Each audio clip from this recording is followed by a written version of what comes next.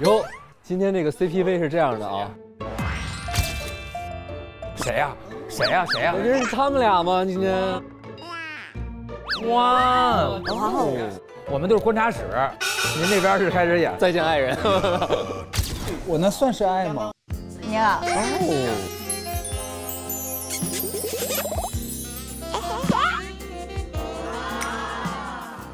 第一个呢是心情，请分享你的好收获。我开始心，我特别想唱歌。在那山的那边，海的那边，有一个绿精灵。绿精灵，今天是绿精灵。咱们聊这事儿，说明这岁数都不小了。我去的是陈一婉的房间。我首先发现了一张戒断复查通知，上面写的是陈一婉先生，复查时间已过一周，请于收到本通知当日立即到方便面戒断中心进行复查。妈呀，他爱吃方便面呐！哎呀妈呀，对，你是那种人啊，就是我们客户，客户，客户。为什么不让吃，你非要吃？不是走上了一条不不归路吗？那调料味儿好好好吃吗？他专门吃调料包。那垃圾食品可不能碰。你自自个儿开了一个特别健康的牛肉粉店，然后你就沉迷于 沉迷于吃方便面，改邪归正了吗？这不是？你不是戒断没去吗？就因为你自己断了。这故事的头在这儿呢，尾巴是变成了陈一婉。啊，换肾了！换肾了！换肾了！哦哦哦！吓一跳，我还往往往往这边往这边指一指。那是哪一年的事？戒断的时候？这个是二零三年十二月一号给他发的。对，嗯，九年前。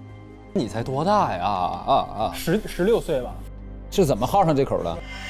认识了一些不好的朋友，混社会了。我妈妈把我生出来的时候，她就发现了我爸爸其实另有一个家庭，有一个女儿，她就觉得特别失望，然后她就带着我离开了我的爸爸。哦，你妈妈就是说不知情的情况下当啊啊，对对，插足了别人的家庭，他就一直跟我讲，以后你就自己长大吧，可能你就指望不上你爸爸，所以我对我的父亲也是完全失望了。然后我妈妈呢，就是为了养活我，就开了一家牛肉粉店，每天日夜操劳。然后有一天，她就倒在了这个粉店，妈妈也离开我，才十几岁吧。然后就等于说，突然没有人管我了，然后我也自己不争气，放纵啊，我就开始摆烂。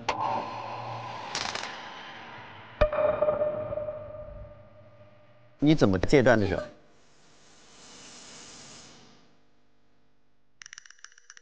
你为什么要这样？热，不太热了。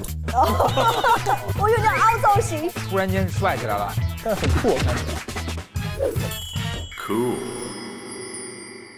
然后我又看到了两张你跟这应该是福绿吧？福绿。福律的合影。哦，这是什么？收容所，上面写着第一次，再一次。再一次的时候，就是有一个区别，就是福绿的这个头发全是白的。确实，对，就是可能老了是吧？就不知道。就福律这个人吧，他是一个好人，他救过我两次。第一次是在二零三年的时候，二零三年我所有的钱都炫完了，我就去抢人家的方便面，然后就一直被人揍在街上，然后突然。我听到有一个人说住手，然后一回头，看见一个男人，我就晕倒了。后面呢？后来我再醒来的时候，就看到这个人，他他说他叫福律，他是一个律师事务所的大律师。哦。然后他就把我送到了收容所，让我戒断，他要好好生活，有有机会我就来看你。这个是他第一次救我的时候。那那个时候你就应该开始戒了。我就戒了。二零六年的时候，我又。没管好自己，复炫了，复炫。但是我还是很克制，我就知道这东西不好，实在忍不住的时候，我就拿头撞墙。也是在我晕倒的那一瞬间看到了福日，但是他那个时候看起来就很落魄，而且头发全白了，我觉得他肯定是经历了些什么。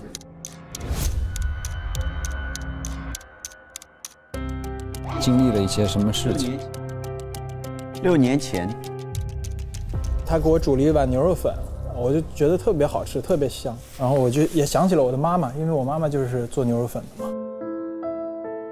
后来每当我想复炫的时候，他就给我煮一碗牛肉粉，他也是帮我找重新找到自己，所以我变成了陈一婉。哎，所以我想听问一下，就是说您爸爸就是您爸爸，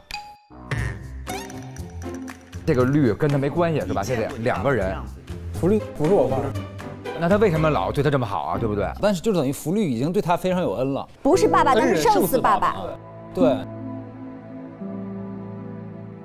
然后我又看到了一个每日热文，这个网页的新闻的标题是“绿界毒瘤，西辉第一律师福绿滚出绿界”，是一个盖楼帖。新闻的内容是：正义虽迟但到，邪恶的律界毒瘤福律在众人的声讨声中离开了律师事务所。他的徒弟甄大律已经着手接手了律师事务所的事务。以下呢是本小编为广大网友带来的性侵案完整时间线梳理。二零三年的六月一号，性侵案发生；二零五年的一月十号，女下属起诉福律，一直到二零五年的十二月二十四号，福律无罪释放。二零六年，福律离职了。他等于是呃，虽然在法律的结果上他得到了这个无罪的肯定，但是社会的影响已经造成了，他就没法当律师了。然后下面就大家盖楼嘛，什么有的就发表自己的情绪。这里面突然间有一个叫晨光闪闪的人，他留了一个说胡说八道什么，福律根本就不是这样的人，这个应该是你的 ID 对不对？嗯，是我的。后来从网上看到这样一篇报道，就是说舆论把他推到了风口浪尖，说他跟一起性侵案有关系。但是在我的视角里，他是一个好人啊，他救了我两次，他不可能是做出这样事情的人。还有一个很重要的点，是因为他被人诬陷的那个时间点，那天我是跟他在一起的。那天他们公司在团建，我跟他有一些事情在谈，哦，哦，所以等于说我是他的证人目击证人证人，他的不在场证明。证明。哦哎，那你为什么没站出来说你跟他在一块儿啊？后来我发现的时候都晚了嘛，他已经都无罪释放了。对，我就声援他了一下，虽然已经晚了。我接下来看到一个这样信封，这边呢？这边我看了哦，嗨，信封里面有一封信，这个是一个遗嘱。有遗嘱啊，福律说：“我自愿将下列归我所有的财产遗留给陈一婉，包含陈一婉牛肉粉店面、西辉路十五号别墅、马兰公寓房产、存款等。我遗留给陈一婉的财产属于陈一婉个个人所有。”签名是福利。这个遗嘱的时间是二一一年的十二月三十一号。二一一年的，去年他知道自个儿病了呗？这是福律给的我一个信封啊。他说，如果有一天我我死了，你就把这信封打开。哦，我不知道是个遗嘱，所以我从来也没打开过。死了才能打开，那不就是遗嘱吗？